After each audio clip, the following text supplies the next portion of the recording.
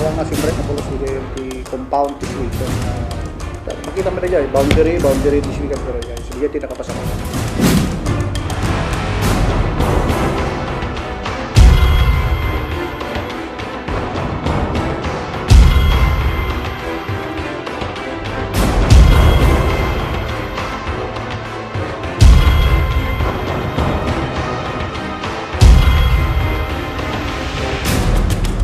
May saman nga nakamames ang napasama kiti ili ang magsinggal at ita ang nakatayan ti kaparparuman ang nabutusan nakas barangay captain.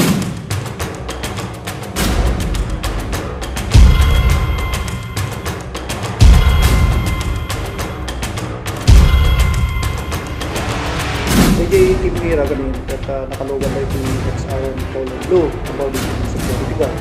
At DJ Maysa nakawiring ti helmet.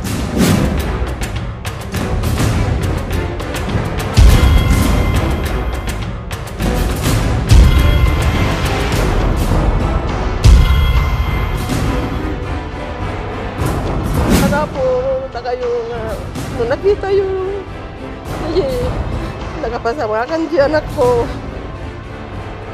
Uray no, ibaga na di pulis, no, isakis na lang no, di na kaya lumantad.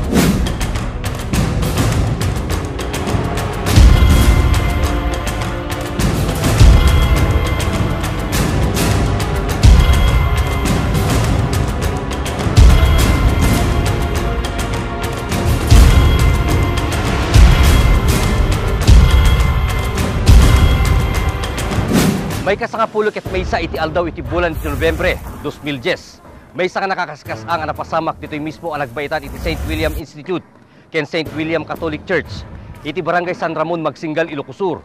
At ilan nga napagamuan nga napaltupaltugan iti may sa alalaki ang nakaigapuan iti panakatay na.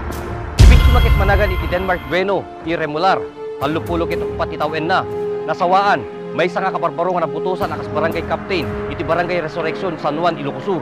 Sigon ti investigasyon iti kaming iti kapulisan, iti ili ang magsinggal, nga indaduulan ni Police Senior Inspector Arsenio Ramos.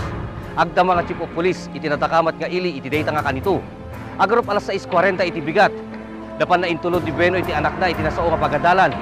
Agdama na nga man manehwen, iti biktima iti L300 Mitsubishi.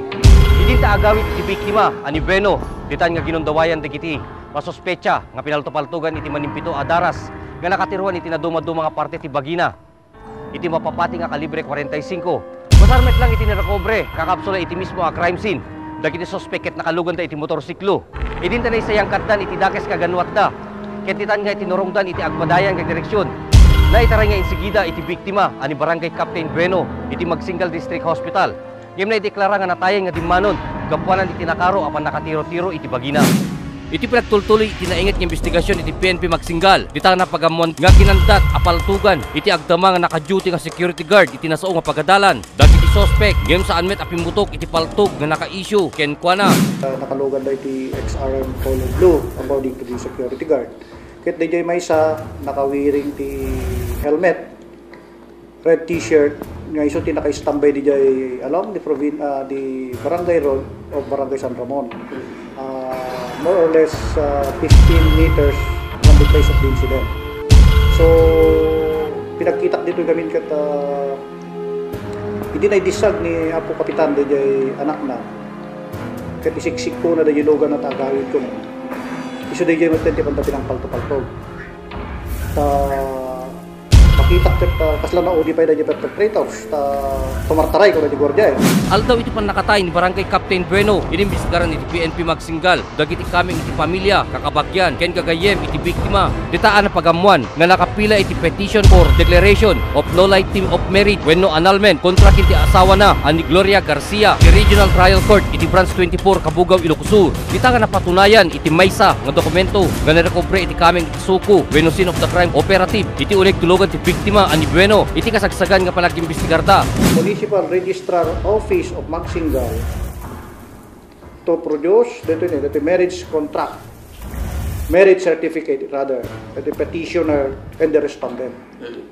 Kaya kaya nakasabin nagasawa na ito dua ni Denmark din ito Garcia kababaan nga pinag-analyze ko nito is ating nga iniba ating nga pagpabirok ni Denmark. Dito papeles yung civil registrar So, ako ti plano na, ha?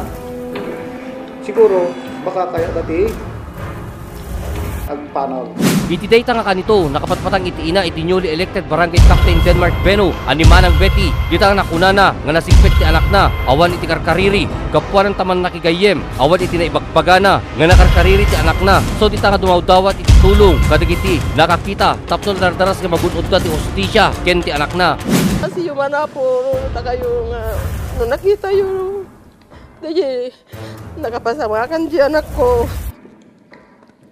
Uray no, ibaga na di pulis, no i-text na lang no dita kaya ti lumantad nga ipakilala na di. Kasi siyempre amumot, mawata mo ti tatawa din nga. Uray no nakita, di tanto mo, biyag mo ti kwan. Di tanto mo, biyag mo ti delikado. Gusto nga mawata mo ta nga. Uray lang kumano, dito indirect ti panangikwadan.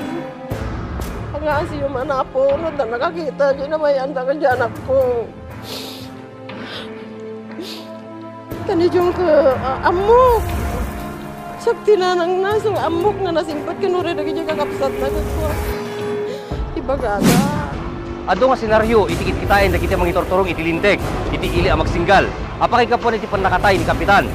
May saditan iti politika, iti pinagsubli iti programa tayo nga police files, ado pa iti intay mamuan, may papan iti nga kaso.